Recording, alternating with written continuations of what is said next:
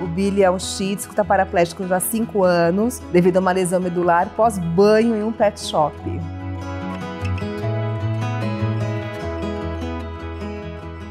Meu nome é Luciana, sou tutora do Billy. Ia completar três anos, um pet shop que recorrente ele ia. E nos ligaram falando que ele estava com uma possível displasia. Foi num sábado, gente já começou a correr, identificou a lesão medular. Na segunda, ele já entrou para cirurgia, só que não recuperou os movimentos. A notícia da paraplegia não foi fácil, a adaptação no pós-operatório é uma adaptação difícil, né? Todos os cuidados, as restrições que tem que ter, né? E toda a questão de entender as limitações do pet e as necessidades do pet. E se você quiser aprender mais sobre como cuidar e manejar de um pet com deficiência, aqui na Pet Love nós estamos produzindo uma cartilha em parceria com o projeto Cão de Rodinhas, aonde lá você vai saber como cuidar melhor desses pets e também vai sanar muitas dúvidas, mostrando que não é impossível cuidar de um pet com deficiência.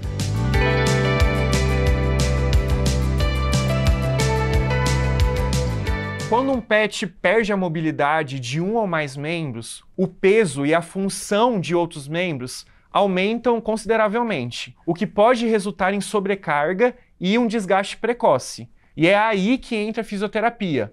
Não apenas como uma ferramenta para reabilitação, mas como um elemento essencial de manutenção e prevenção de novas lesões. No longo prazo, isso significa mais mobilidade e, com isso, mais qualidade de vida para o paciente. Eu adaptei a minha rotina à rotina dele. Ele faz fisioterapia, acupuntura duas vezes na semana, então por duas vezes eu paro a minha agenda para cuidar dele. E nos demais dias eu tenho que trabalhar. Então ele já se adaptou a ficar sozinho em casa. Então as trocas de fralda é quando eu saio de manhã, quando eu chego.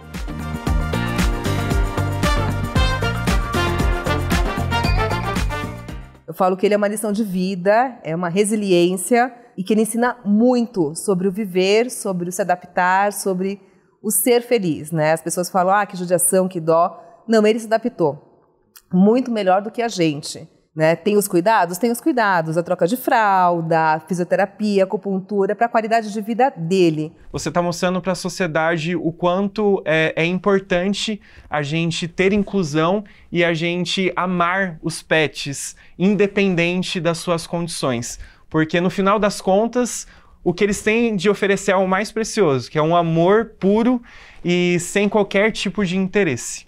Ele que ensina muito sobre o que é vida, sobre o que é se adaptar, sobre felicidade.